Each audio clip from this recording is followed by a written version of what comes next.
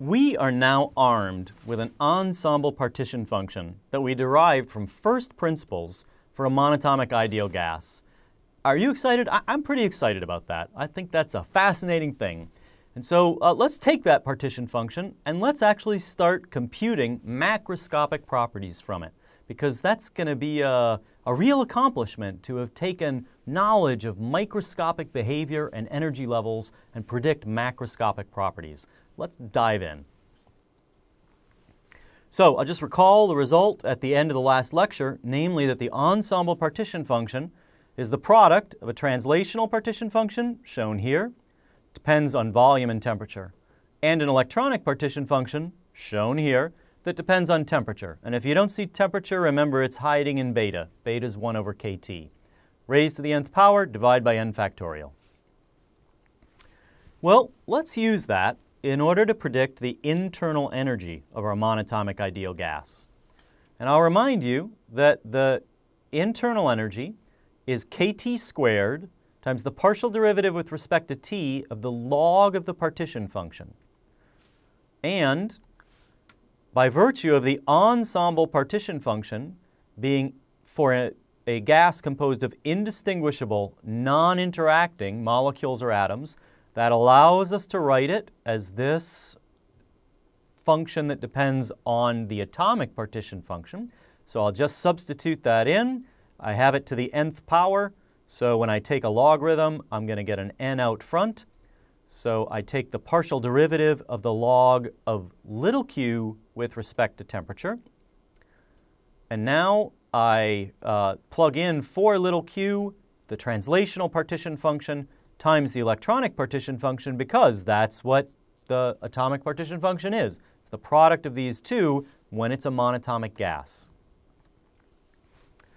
So now let's actually substitute in the correct expressions. So here I've put in for Q trans, I have put in the correct partition function for translation.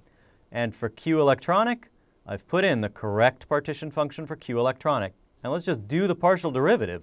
So it's partial partial t of the log of all this stuff. Well, this is something to a power. A log to a power is like the power times the log. So there's a 3 halves. Let's keep that 3 halves around for a moment. And then I take a log of a product, and actually it's a ratio, so I'll get logs of things plus things minus things in the denominator. In the end, all I'll end up with is partial partial t log of t. So that'll give me 1 over t that's multiplied times t squared. So here's my 3 halves. n comes over to n. k comes over to k. The t squared over t is t. And that's it. I'm all done with everything having to do with the translational partition function. Right, just 3 halves nkt. And indeed, we derived that previously. So that's the translational part. That's the electronic part. That's the result of taking the derivative properly for the translational part. And now comes the question, what happens when we take the derivative with respect to the electronic portion of the partition function? So I'm going to let you work on that one actually and give it a try, and then we'll come back.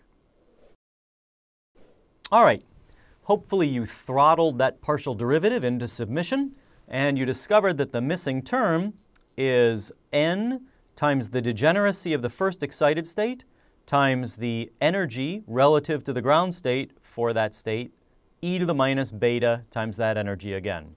And so, of course, G1 does not depend on temperature. That's just the degeneracy of the ground state. The second term is the first term that does have a temperature dependence because beta appears here. But you've already derived that, so I don't have to tell you. And again, I'll emphasize that the electronic contribution to the internal energy is typically going to be quite small. And as a result, the internal energy is 3 halves nkt. It's dominated by the translational contribution because the fraction of molecules in excited electronic states is usually extremely small at what I'll call low temperatures or normal temperatures, anything much less than thousands of degrees. And actually, just to you know, explore that and put some numbers on it. So of course I say this is the way it is, but let's really look at the numbers for a moment. So here is the partition, sorry, the internal energy that we derived, and I'm telling you it's really small. Let's look at a couple different atoms. Okay, so let's consider first the lithium atom, which remember has a first excited state, 14,900 and let's round to four. We don't have to carry around all those significant digits. Uh, wave numbers above the ground state, and it has a degeneracy of two. And then there's the fluorine atom, which has a first excited state, a mere 404 wave numbers above the ground state, also with a degeneracy of 2. So if I ask about the contributions to the total internal energy, each of them has a 3 halves NKT that contributes. And actually, let's pick a particular T and also a particular number of uh, atoms so that we can have a a true value. So let's take Avogadro's number. That's always a nice one. We'll have one mole of atoms. And we'll work at room temperature, 298.15 Kelvin. And then let's uh, express our energy in kilojoules. And so 3 halves nkt in kilojoules when n is Avogadro's number. That's actually 3 halves RT because Avogadro's number times Boltzmann's constant is the universal gas constant. So in kilojoules, R is 3.719. And those constants don't change any for fluorine. There's no difference between the two atoms when it comes to the very first term associated with translation. However, if we look at plugging in this excited state energy to this expression, putting in Avogadro's number and 2 for degeneracy, and then here's where 14,904 wave numbers goes, plugged in here as well with appropriate units for Boltzmann's constant, we discover that its contribution to the total internal energy is 2.081 times 10 to the minus 26th kilojoules. So about 27 orders of magnitude smaller than 3 halves NKT, so negligible. On the other hand, for the fluorine atom, the contribution is actually 1.376, so that's about a third again as much as is associated with the translational component, the contributions to the internal energy. So you do see that as the states get relatively close to the ground state, now they can contribute something. But this helps to put some numbers on just how unimportant it is in most systems. Let me also look at the heat capacity for the monatomic ideal gas. So if the internal energy is the expression we've been working with up till now,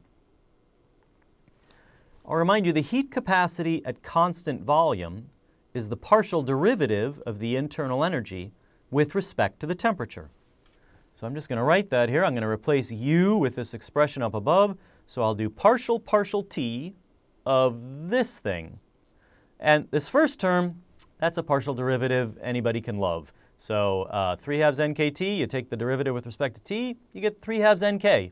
That's pretty straightforward.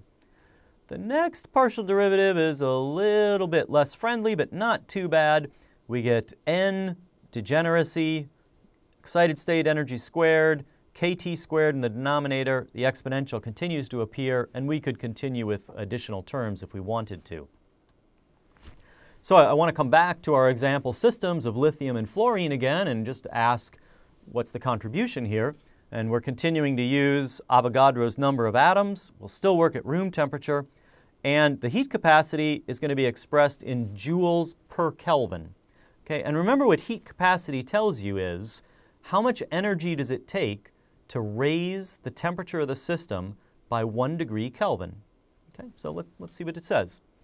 Well, again, the 3 halves nk term, and given that it's uh, Avogadro's number for n, that means 3 halves r, 3 halves times the universal gas constant, 12.47 joules per Kelvin is the heat capacity of lithium gas, atomic lithium gas. It's not a gas you'd really want to play with actually, but works out well on this slide. And that's just a set of constants. It's exactly the same for fluorine. Now, when we look at the second term, what's the contribution to the total heat capacity at constant volume?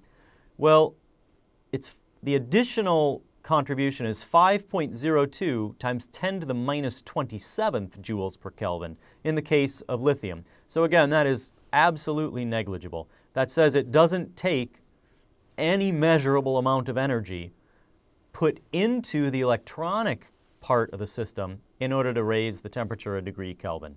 Right? But it takes 12.47 joules pumped into translational modes in order to raise it that much. On the other hand, when we put all the appropriate numbers for fluorine, this degeneracy and this excited state energy, into this term, we discover that it contributes an additional, let's call that 9, it's pretty close, 9 joules per Kelvin into the constant volume heat capacity. And so the way you should think about that is heat capacity tells you how much energy does it take to raise the temperature a degree. Well, what is temperature? Temperature is a measure of how fast are the molecules moving. Right? When you feel a hot substance, it feels hot because those molecules are hitting you hard. They're moving very, very quickly. So if all the energy you put into a system is going into the translation, then it will heat up as efficiently as, as is given here with this value of 12.47 joules per Kelvin. But if some of the energy is going not to put the molecules into higher energy translational states, but instead to put them into higher energy accessible electronic states, well, that doesn't feel like temperature. That's just putting the energy somewhere else.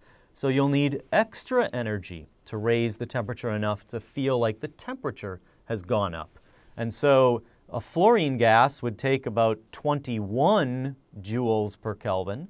A lithium gas, only 12 and a half, takes more energy to make the fluorine gas as hot as the lithium gas because some of that energy is going into exciting the electronic states instead of exciting the translational states. All right, what about pressure? So we can play the same game and do some partial differentiation. It's a different partial derivative now. So pressure is kT partial derivative log Q with respect to volume, holding number of particles and temperature constant. But of course, we play the same game. We replace the ensemble partition function by the atomic partition function, and we move this exponent n out front. We replace the atomic partition function by the product of the translational and electronic partition functions, and we get this. Again, I'll plug in the actual explicit forms of the partition functions, and I'll just call to your attention, we're taking the partial derivative with respect to the volume, and volume only appears in one place, right here. So I'll end up with, this is a product of a whole bunch of things, so when I take the log, it'll separate it out as log v. And the partial derivative with respect to v of log v is 1 over v. So it all gets pretty easy. I get nkt all over v. And as we looked at last week, actually, that is a recapitulation of the ideal gas equation of state, or the ideal gas law namely that P is equal to nKT over V, or if I express it in molar units, PV equals nRT, chemistry's most famous equation, at least from a thermodynamic standpoint. So let's just summarize what we have uh, derived thus far. So we've got an ensemble partition function for our monatomic ideal gas. The components of the atomic partition function are translational and electronic, as shown here. From that partition function, we can derive energy, heat capacity, and pressure. And in particular, the energy, to a good approximation, in those instances where we don't have excited electronic states contributing, is 3 halves nkt. The heat capacity is 3 halves nk, and the pressure is nkt over v. If we actually work in molar units, which are often more convenient when thinking about real macroscopic quantities, molar units just implies that we're going to use Avogadro's number for n. And in that case, the molar indicated by the bar over the top of the thermodynamic quantity, molar internal energy, 3 halves RT. Molar constant volume heat capacity, 3 halves R. And here's the ideal gas equation of state, written in a somewhat unusual way with a bar over the P instead of over the V. I think we'll just leave that as a blooper for this particular Coursera course, but you know that the bar should go over the V, not the P, and that is pressure is equal to RT divided by the molar volume. All right, well, let's uh, leave the blooper behind and get back on our uh, powerful train of thermodynamics. And we will continue driving down the tracks. And we're going to start uh, next time looking at not mono monoatomic ideal gases, but let's actually do a diatomic ideal gas. That'll take us more than one lecture to get through because more interesting things start to happen, but we will take our first cut at it.